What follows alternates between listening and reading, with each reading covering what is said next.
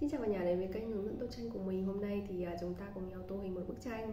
Một bạn nhỏ và bạn nhỏ của mình đang trong à, Có hai chiếc bím tóc rất là xinh và đang đội một chiếc mũ. Và sau đây thì mọi người cùng tô bức tranh này cùng với mình nhé.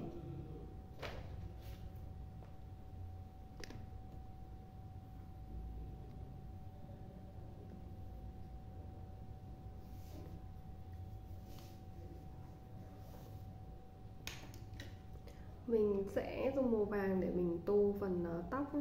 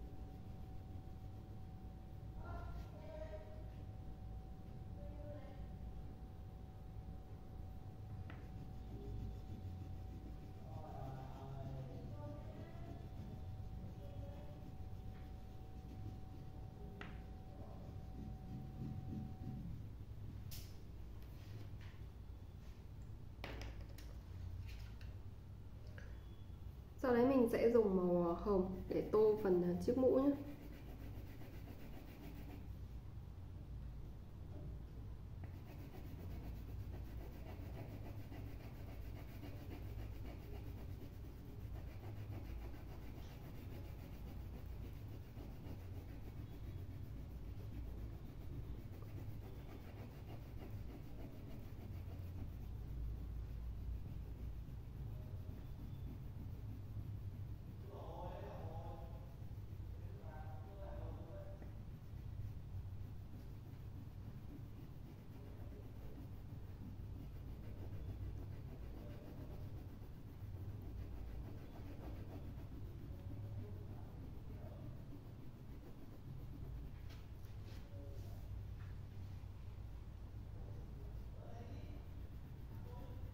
và đây thì mình cũng sẽ tô luôn chiếc nơ nhé. Màu hồng đậm này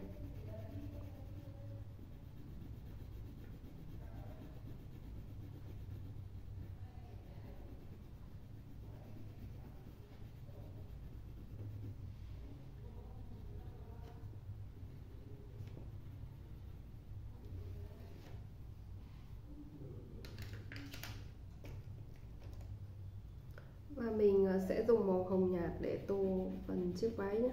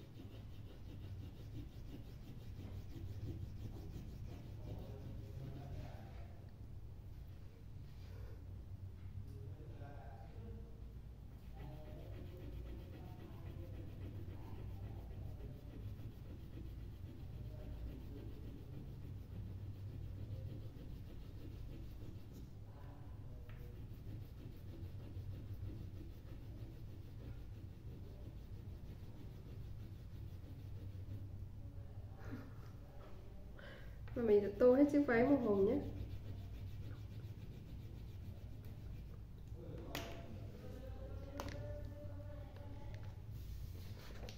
Vừa rồi thì mình vừa cùng cả nhà tô xong bức tranh một bé gái trong ờ, trang phục à, hai chiếc bím tóc rất là xinh như này. Cảm ơn cả nhà đã theo dõi hết video tô tranh của mình.